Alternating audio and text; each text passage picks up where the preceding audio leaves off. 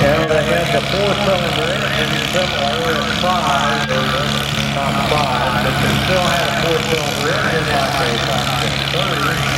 but they had the uh, six-speed straight two-range transmission like a 40 and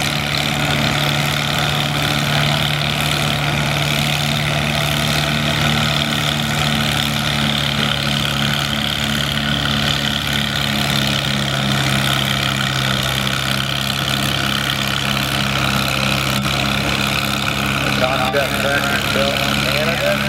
sold in the United States under uh,